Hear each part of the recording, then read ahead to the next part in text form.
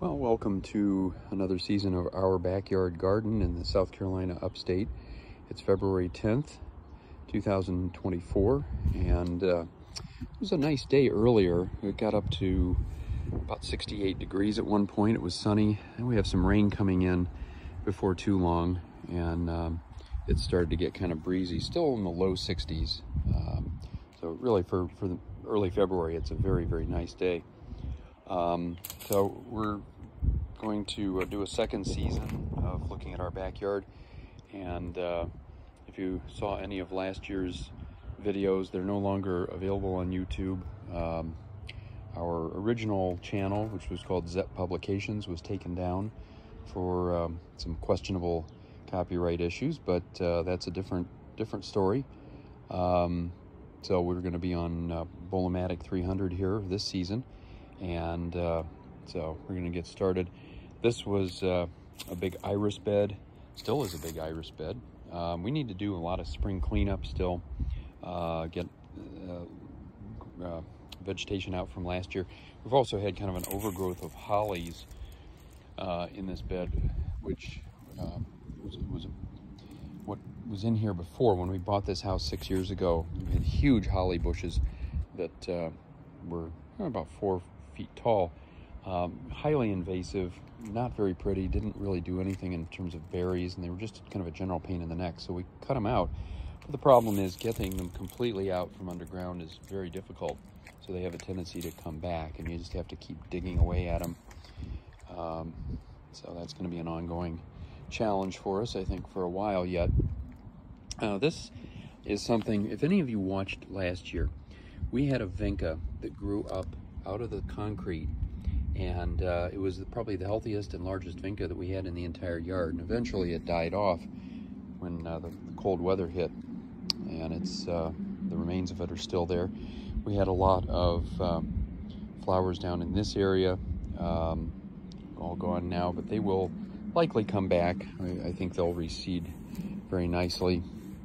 Um, they were cleome. I, uh, the name escaped me for just a second, but uh, this area was full of cleome, big tall pink flowers that bloomed pretty much the entire season.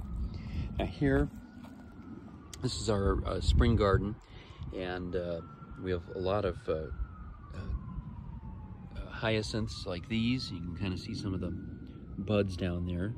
So it won't be long before we have some really nice smelling hyacinth flowers. And then we have some uh, other spring flowers, certainly some daffodils in here, and uh, various other things. And this uh, was a really nice yellow knockout rose that we put in last spring. And it got to be pretty big, put out a lot of flowers right up until the end of the year somehow some of its leaves have survived even with the cold. We had a deer problem about a month ago, and a deer ate about half of this uh, plant. Now, it's a rose, so it should come back, but uh, it's not going to be quite as large as it was last time. Um, we've been debating whether to cut back or not, but we'll we'll see how it does. Um, and then uh, as we come down here, we've got more hyacinths, a lot of hyacinths actually some of them getting closer to uh, uh, blooming than others. Um, this one's been chewed on, so this is going to continue to be an issue, I can tell. Some uh, tulips over in here. We bought a lot of bulbs last fall, and my wife Jenny got those in uh, back in November. And then here we have uh, digitalis. Uh, these usually will reseed and uh, come back. We'll see how well they do. Uh, it's not a guaranteed sort of thing, but we'll see. Now here we had put in a bunch of pansies. These were nearly destroyed by uh, rabbits. Um, and they ate them right down to the ground. Um, the, the, greenery is still there.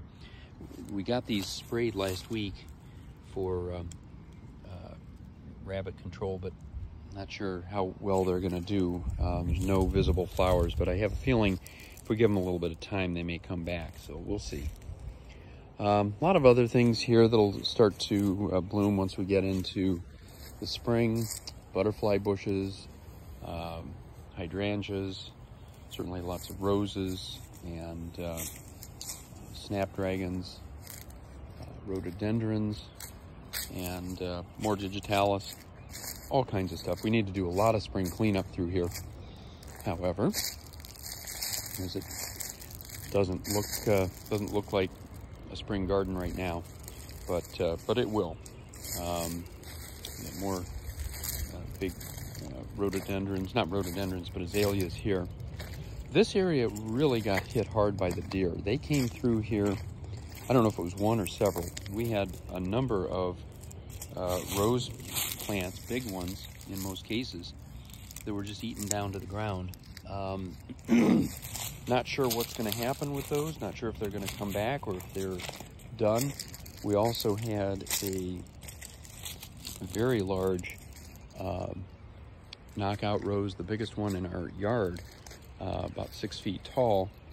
And as you can see, they chewed these right down to almost not quite to the ground, but within a uh, small distance of the ground. And still some broken branches here.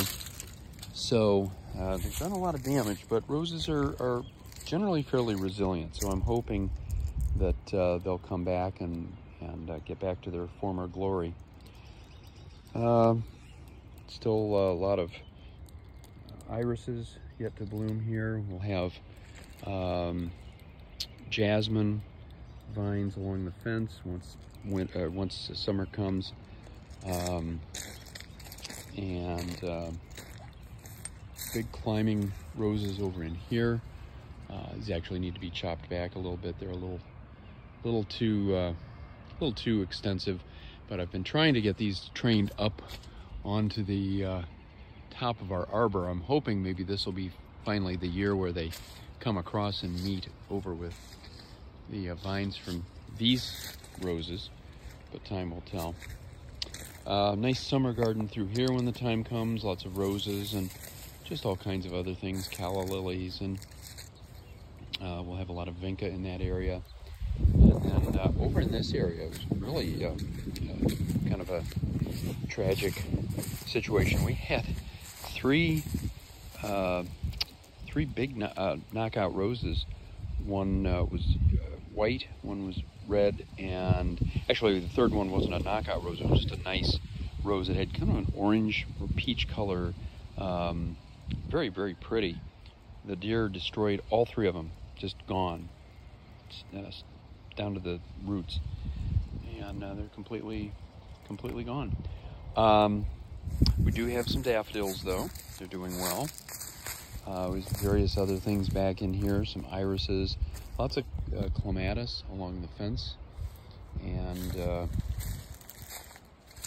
then we have uh, a number of uh, vine uh, vine-based uh, flowers that will start to leaf up probably within the next, I'd say three weeks or so. Now ours are, are a little bit behind the, the wild ones. Um, these are wisteria. Uh, typically the wisteria around here will bloom in the uh, third, fourth week of March. Ours typically are blooming about three to four weeks after that. So right now they don't look too alive, but they will come back. Now here we had canna. Um, no signs of life here right now. We just need to get these out of here, get this cleaned up when we do our spring cleanup at some point. Um, black-eyed Susans in here, some iris, some daylilies. Again, this is a um, kind of a midsummer garden, so there's not much going on here right now. You can see jasmine uh, along the fence, and then all kinds of roses. So once uh, once the time comes, these will start to uh, bloom. It'll be just like a sea of red in this area with roses and, and uh, clematis. We'll finish up as we usually do over by the house. And here, again, not much going on. This is really mostly a summer garden. Um, we do have uh, a couple roses that are hanging on, um, and everything else is either uh, uh, annual or a few perennials in here. So we'll see how much of that comes back. Um, we have a, a, couple of lilacs in this area. This is one right here.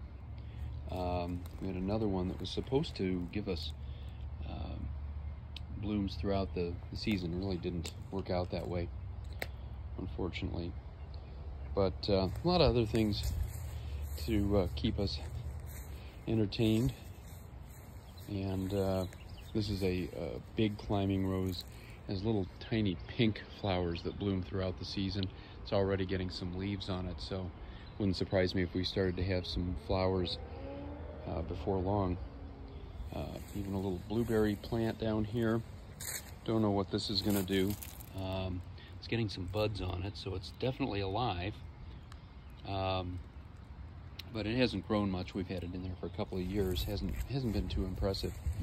And then we have a lot of uh, tomatoes that um, we've just allowed to go to seed because we have far more tomatoes growing than mouths to eat them. So um, we had them growing all the way back under the porch and some hostas and other things. So, you know, it's kind of quiet right now. Uh, we're just going to keep our eyes on on uh, first the spring garden, see how that does. Um, the, between the daffodils and the hyacinths and our little crocus, few crocus that we have here, um, I think we'll have uh, a good start to the spring and then it'll go into irises and this area will be just covered with uh, color probably in another four to six weeks. So anyway, that's our first episode for the year. Hope you enjoyed it and uh, it's going to start to get a lot more exciting, a lot more entertaining as we get into spring. So until next time, happy gardening.